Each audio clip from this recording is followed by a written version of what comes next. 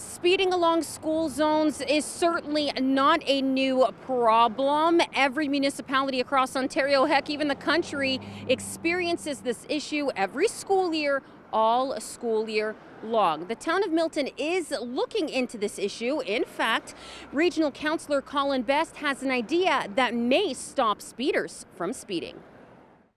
Since the Ontario government gave permission for municipalities to install speed cameras along school zones, Regional Councillor Colin Best is hoping they can install some in Milton.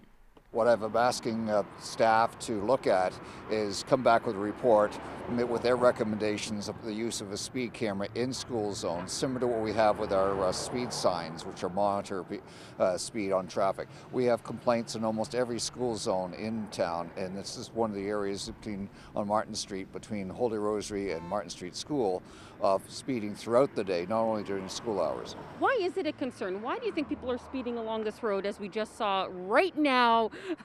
and school's not even over yet. This is a 40 kilometer zone. One other request I've made to them is just why don't you make it the whole four, uh, whole stretch from Steeles to Martin Street 40 kilometers, similar to what the, uh, the town of Oakville is now considering for all residential streets. But until that time, Best will settle for school zone cameras for now. He says it's a step in the right direction to making their roads safer. We've had a number of accidents in the town. We've had children being hit coming back and forth to school, such as on uh, Thompson Road recently, where a child was injured, as well as people being killed. Let's try and find a way to reduce the speeds and get uh, people more respectful of each other. So, how will it work? Well, what Best will propose is to have a camera that can be moved to different school zone locations. He says it will work similar to what other municipalities have done would take a picture of the car, record its speed, its license plate, and send them a ticket. And it's basically radar enforced and something similar to getting a parking ticket. It highlights that you were doing such and such a speed at this time. And good luck trying to uh, dispute that because it's all monitored and calibrated properly.